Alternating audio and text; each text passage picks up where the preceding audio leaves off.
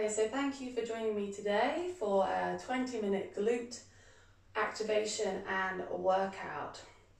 So we're going to start um, nice and slow, nice and controlled. And all we're going to do is we're just going to stretch first of all through the front um, of the legs. So from here, we're doing step the right leg all the way back.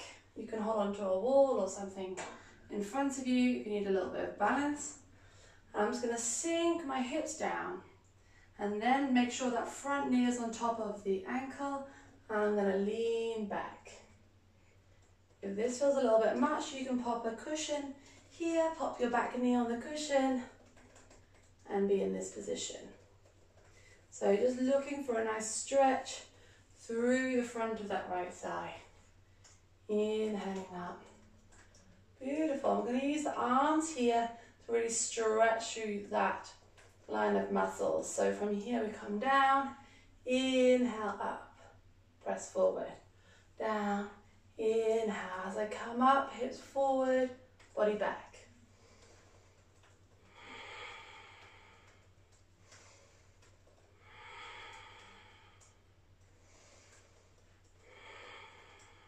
One more there. Beautiful. Yes. And then from here, we're going to bring the hands to the hips. And just going to go up and down. Five little lunges here. So that back knee goes down and back up. One a bit wobbly to start with. Down and back up. Down. Wobbles are normal. Your body's just finding its balance. Pushing a lot into that front heel. Good, and coming up. Shake it out, shake it out. Same on the other side. All the way back. Sinking into the high lunge or the low lunge. Variation. Little tuck of the pelvis under. Lean the body back. And then when you're ready, inhale, arms up. And then exhale down. So you're trying to keep the legs nice and strong and balanced. You can do that here as well. Just making sure that kneecap at the bottom is comfortable. Last one. Hands to the hips, up and down. Five static lunges, down, back up to the top, down. Just going the range of motion that feels comfortable. If you feel any pain as you go down, stop just before that point and try to come back up. So try to avoid any pain. I think that's six. PTs definitely can't count. Bring it in. Shake it out, shake it out, shake it out. Wonderful. Okay, so from here, we're going to pop the feet now nice and wide. Turn the toes out. You can use any kind of uh, baked beans or body weight or kettlebells. I'm going to use this, it's a little 12 kilos. But you can use any, any size that, that feels good. And then from here, you're going to push into your heels, push your knees out so they're the same angle as your feet, and keep your chest lifted.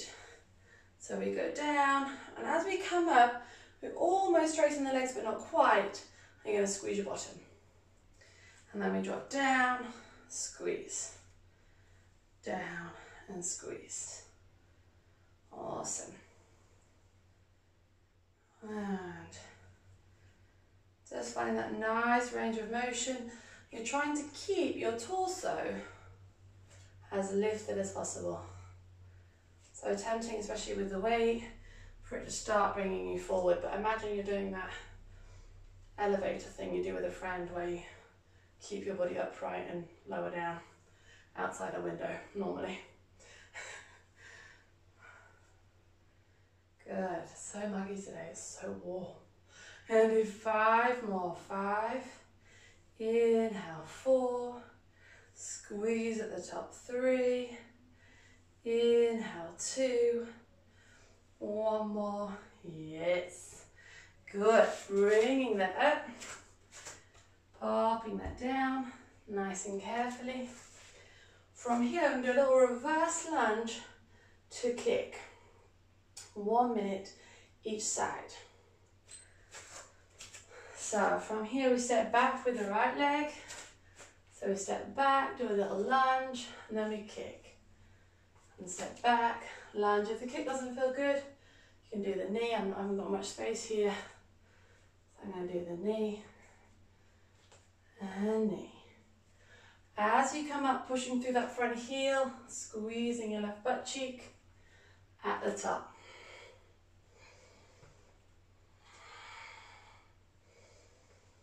Going at a pace that suits you.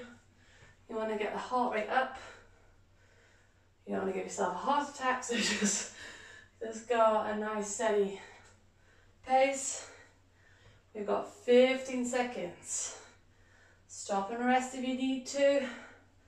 Otherwise, stay with me. Oh, we got it. You might get the occasional one that's quite wobbly. They all might feel quite wobbly. That's okay. Good. And swapping sides. Lunging back. Boom.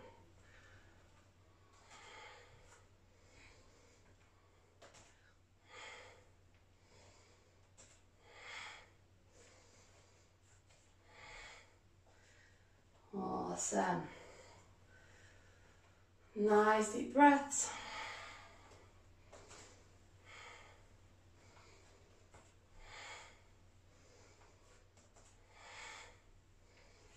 We got it, 20 seconds to go.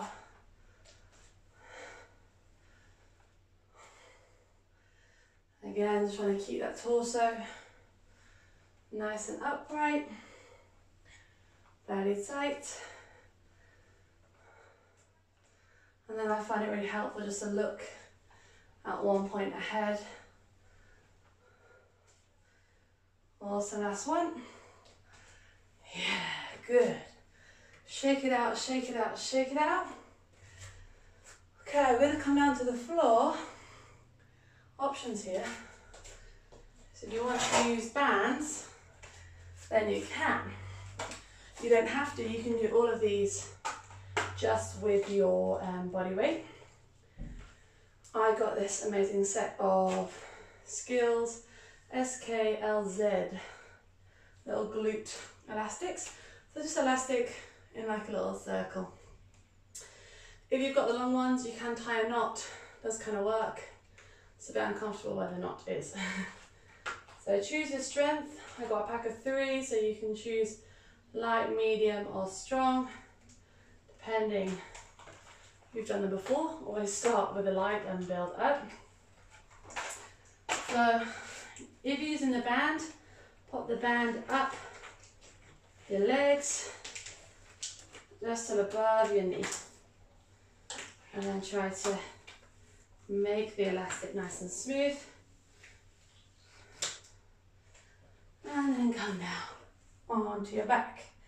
So from here we pop the Knees hip distance, thighs are going to be parallel to one another. So the knees aren't dropping in. From here, I push into the outside edges of my feet and have my feet parallel and heels close to my bum. I constantly push outwards into the band as I press the hips up and squeeze my bottom at the top. Then I drop down again. Up to the top, squeeze, push into the heels. I can wiggle my toes if I wanted to and down. Push squeeze, and down. As you squeeze and hold at the top, pull your belly button in towards your back. You can put your hands by your side and push down for a bit of extra support. Pushing to the top, squeeze and lower. Keep pushing the bend out and down squeeze. You hold momentarily and then you drop back up and drop. Good. Last two, boom, and down, up, and down. Perfect. You can relax, let your knees drop together. This next time, we're going to go up to the top, hold it in the bridge, and then you're just going to take your knees like a couple of inches wider than your hips and then back to hip distance. So it's like tiny little pulses. So we bring the knees to hip distance Lift the hips up. Body is in a line as much as you can between your shoulders and your knees. And then from here, we go a little bit wider with the knees, back to hip distance, wider, back, two, three. So you can totally do this just with body weight. It might not feel as strong, but even just holding it at the top and squeezing your bottom right now is doing a load of good. So just stay with us either way. Beautiful. Squeeze it. So keeping the hips high, try not to let them drop as you go. Beautiful, last two. That should be about 15 and down. So nice, we're gonna do that one more time. One more set of 10 to 15 little pulses. So hip distance, push to the top, little out and back, out and back, out and back. Good, four, five, lift your hips higher, six, belly tight, seven, eight, nine, ten, eleven. Make sure they're moving symmetrically, 13, 14, 15, whoo, glutes on fire. Beautiful. All right, from here, pop your band off your legs. We're going back up to the top. People who know me know how much I love a second set. So all those exercises we've done, I might layer on a little bit extra, see how I'm feeling. So coming up to the top. First of all, we had our lovely little swoop, so we step back, weight in that front heel, and we go up and back. So I'm a Lion King move. Two. Pushing into that back heel, three. Uh, four. And again, five. So this chills out a little bit the quad and hip flexor, which tends to want to take over the movements that we're asking the glutes to do. So we lengthen and stretch them first. Up and back, one. Stretch, and just feels so good, especially if you've been sitting for a while. Three. Four, one more five, beautiful. Little pulses, little static lunges each side. This time I'll do a set of eight till I can get my balance. Wobbly day today, up and down, one, two, three, four, inhale down, five, inhale, six, inhale, seven, last one, eight, bring it in, switch. Little key here, make sure your feet are hip distance apart. If you were to do two perfect train tracks, one would be on the right rail, one would be on the left rail. If you're on a tightrope and they're like directly um, in front and behind one another, very difficult to balance that. You probably can make it work, but I wouldn't advise it because it's very hard for your hips to be square to the front in that position. So both hip bones shine towards the front, down and up. Now this should feel a little bit easier. Now the legs are really warm, the glutes are really active. Good, two more. Beautiful. In, yes. Grab your weights, your baked bean tins, your sack of potatoes, your child, I don't mind, your dog, whoever's up for it. And then knees wide, push into those heels, almost to the top, but not quite. Squeeze and drop. Squeeze, looking forward, chest lifted. Drop down, squeeze up. Boom. I've got a little lockdown obsession of saying boom. It's me energizing myself. Good, last three. Keeping belly tight. One, two, three. Yes. Bring it in. Safely put it down. So bend your legs, keep your back straight. And then coming all the way down to seated. Guess what? Put your band on. These bands look particularly small, I warn you. When they arrive through the post, you'll be like, I'm not going to get my legs in there. You can. It's particularly easy if you're wearing leggings or lycra, because obviously then it's a bit less uh, hideous on your skin. You can get some nice fabric ones now, so I'd probably do that whilst to buy them again. Slowly coming down. These ones are nice and cheap and cheerful though. So pop your uh, knees hip distance, heels to your butt, pushing out as we come up and squeeze to the top, touch down, squeeze, down, squeeze. If you can, you can also pull your pelvic floor up to really engage your deep core muscles and work those at the same time as we go to the top.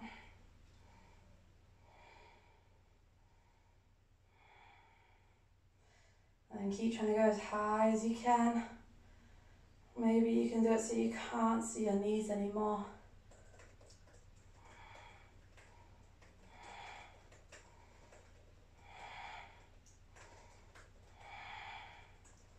So really good conditioning, really good focused work goes a long way.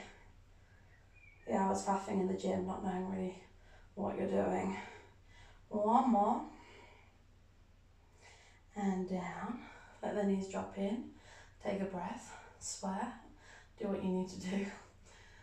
Um, and then from here, we're going to do the little pulses now. So we go to the top and we do the little, the little squeezes out and back in. So knees hip distance, up to the top. And then from here, hair grips and lying on your back is never good. Push your hips as high as you can little out and back. One, two, three. As you do this, you try not to roll your feet too much. You don't want to be coming like too far out and rolling onto the out, right onto the outside edges of your feet. There's a small movement with the knees. Keeping those hips high, I can feel them are starting to drop. Just give them a talking to. They should really be on fire. If they're not, get a stronger band or do more reps than I'm recommending. Obviously, the stronger the band, the less reps you're going to need to do to get that same feeling. Take a nice deep breath, because as you remember from the first set, you do it twice.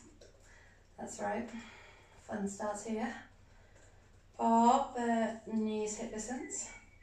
Here we go again. Last and final bit of the workout. Out, back in. One, two, three, four, five, six, seven, eight, nine, ten, eleven, twelve, thirteen, fourteen, fifteen, and down. All right. Nice with the little stretches here. So just bring that off and relax down a little bit through your lower back too. So we'll just drop, plug your elbows down, just drop your knees to the one side. Look over the opposite shoulder. And then back the other way.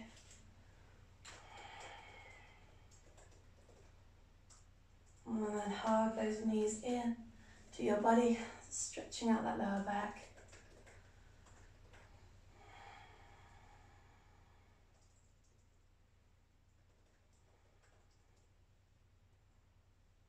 And then from here, releasing there.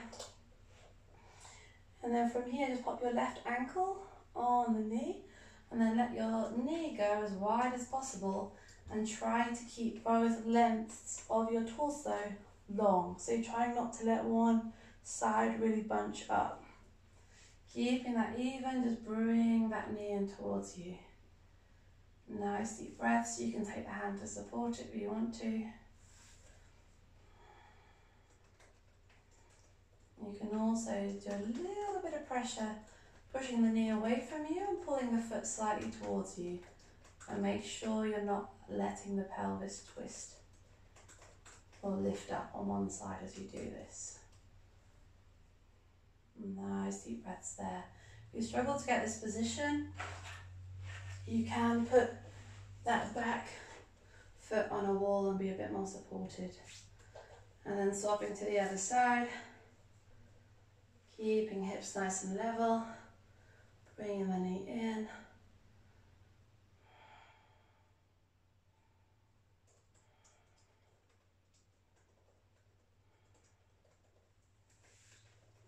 Awesome, one more deep breath there. And then releasing that, slowly coming up. Nicely, just a couple of twists here. So just inhale, raise the arms up. And then take your right hand behind you, left one across. Inhale, lift and twist. And then back the other way. Inhale, lift up and twist.